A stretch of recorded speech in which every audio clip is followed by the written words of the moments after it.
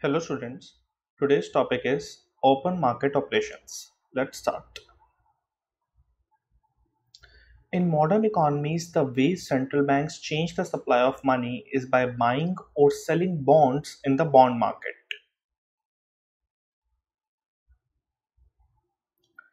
If a central bank wants to increase the amount of money in the economy, central bank will buy bonds and pays for them by creating money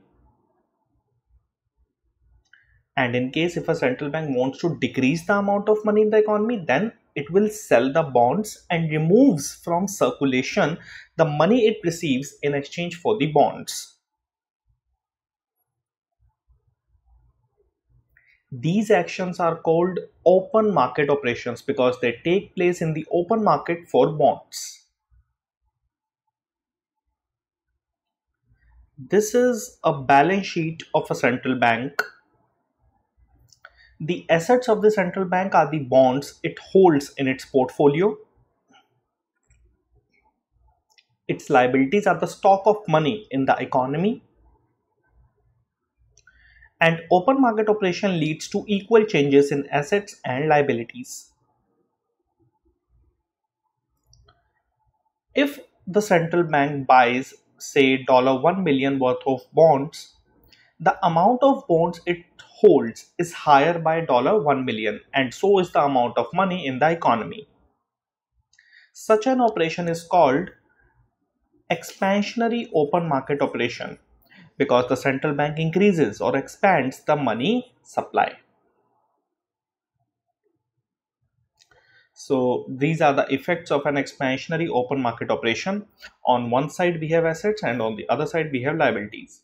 On the asset side, it is written change in bold bond holdings by plus dollar 1 million. And on the liability side, change in money stock by dollar 1 million. तो central bank ने जो bonds purchase करे हैं तो purchase करे हैं तो उनके एसेट्स इंक्रीज हो गए बाय डॉलर वन मिलियन और because in return or in exchange for bonds central bank pays uh, the money so the money in circulation increases by dollar 1 million and its opposite case.